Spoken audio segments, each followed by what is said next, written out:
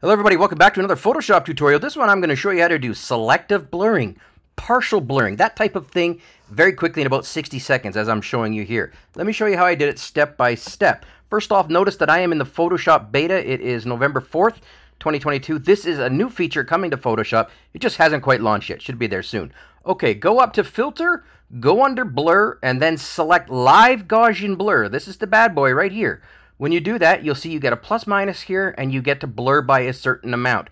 This is standard so far. I'm going to select 99 pixels because I want to go a little bit over the top and I'm going to create that it goes to a new layer.